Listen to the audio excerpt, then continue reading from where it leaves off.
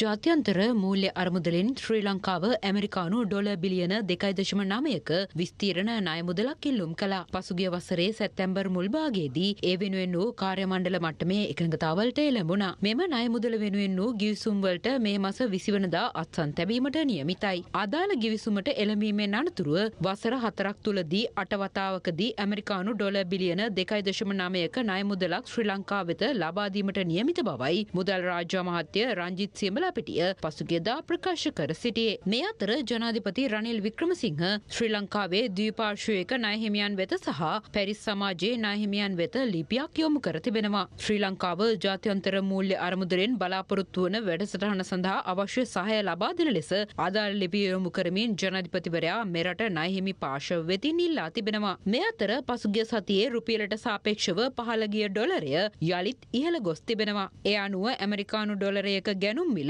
රුපියල් තුන්සිය දහනමයයි ශත අසූ හතරක් ලෙසත් ඇමරිකානු ඩොලරයක විකුණුම් මිල තුන්සිය තිස් පහයි ශත හැට අටක් ලෙසත් අද දිනේ සටහන් වුණා. මේ අතර නිෂ්පාදන හා සේවා ගැනුම් කළමනාකරුවන්ගේ දර්ශකය පෙබරාරි මස පසුබෑමක් පෙන්නුම් කරන බව ශ්‍රී ලංකා මහබැංකුව පෙන්වා දෙනවා. ඒ අනුව එම දර්ශකයේ පෙබරවාරි මසදී හතලිස් දෙකයි දශම තුනක අගයක් සටහන් වුණා. නව ඇනවුම් නිෂ්පාදන සේවා නියුක්තිය සහ තොග මිලදී ගැනුම් පහත වැටීම මෙම තත්ත්වයට හේතුවී තිබෙන බවයි ශ්‍රී ලංකා මහබැංකුව පෙන්වා දෙන්නේ.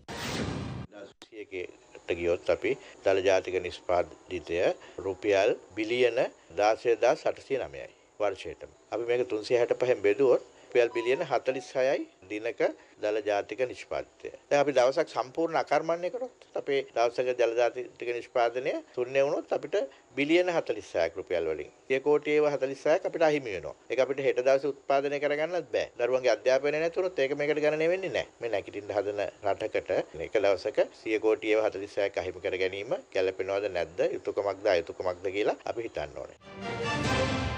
රටේ ලෝකෙ සිදුවන උණුසුම් පුවත් දැනගන්න සියත නිවස් YouTube channel එක අදම subscribe කරන්න.